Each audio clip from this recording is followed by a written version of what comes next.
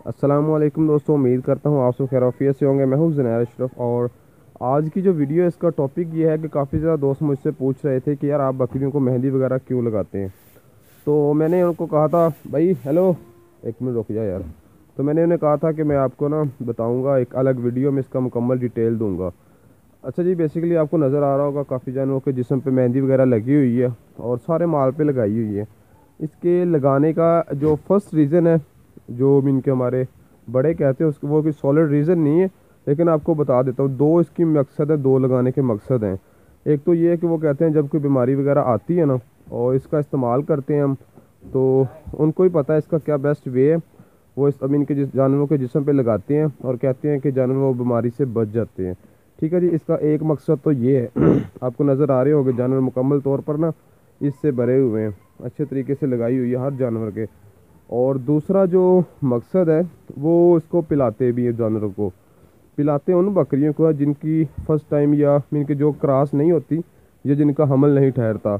और उनको तकरीबन एक स्पेसिफिक मकदार होती है मेहंदी की, वो लेके पानी में डालकर उनको पिलाते हैं और पिलाने का एक मखसूस तरीका होता है। और वो पिलाते हैं और उनका हमल ना रुक जाता है। और जानवर अच्छे तरीके से इनके अपना बच्चे जो उसके पेट में होते हैं, उनकी केयर वगैरह भी हो जाती है, वो और वो अच्छे तरीके से ना मीन के मुकम्मल जानवरों की, अच्छे बच्चों की पैदावार की तरफ़ गामजन हो जाता है। तो ये था जी मेहंदी लगाने का छोटा सा मकसद था। वीडियो मैंने आपको बता भी दी है, ठीक है? और सुन्नत वगैरह भी, भाई कह रहा है कि सुन्नत भी है ये। तो जानवरों का मुझे इतना इलम नहीं है, ठीक है ना? मैं कुछ भी नहीं कहूँगा इसके बारे में। तो एक दफ़ा आपको, वैसे ऊपर से माल भी चेक करवा देता हूँ। ठीक है जी।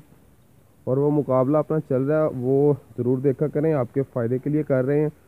क्योंकि उसमें जो गोट्स होती हैं, उनके दूध की रियल आपको पता चलता है रियलनेस पता चलती है कि वो क्या वो वाकई इतना दूध दे सकती हैं या नहीं दे सकती। हम सिंपल चराई पे आके उनको इतना दूध निकाल रहे हैं और काफ़ी ज़्यादा दोस्तों से प्यार भी कर रहे हैं, ठीक है ना? और उनको वो चीज़ें अच्छी भी लग रही हैं, क्योंकि आपको हकीकत का पता चल रहा है। और ये हमारा आप माल देख रहे हैं। आपको वैसे जस्ट शौक से दिखा रहा हूँ, कुछ सेल वाली चीज़ नहीं है, ठीक है ना? वैसे दिखा रहा हूँ दोस्तों को। काफ़ी दोस्त कहते भी हैं तो इसकी इंशाल्लाह एक अलग वीडियो भी लेके आएँगे। आज के लिए मेरे ख्याल में इतना ही काफ़ी है और वीडियो एंड करते हैं। उम्मीद है अच्छी लगी होगी, छोटी सी रीज़न थी। अगर आप मेहंदी वाला वो तरीका जानना चाहते हैं तो आप हुक्म कीजिएगा, इंशाल्लाह नेक्स्ट वीडियो में वो आपको मुकम्मल डिटेल के साथ बताएँगे, ठीक है ना?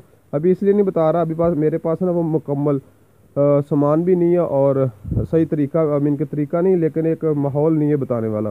तब जब दूँगा ना लाइव तब आपको इंशाल्लाह तब भी दिखाऊँगा। तो अगर आप वो भी देखना चाहते हैं तो कमेंट्स कीजिएगा इंशाल्लाह। हम उस पर नेक्स्ट वीडियो लेके आएँगे, ठीक है ना? तो आज के लिए इतने काफ़ी है।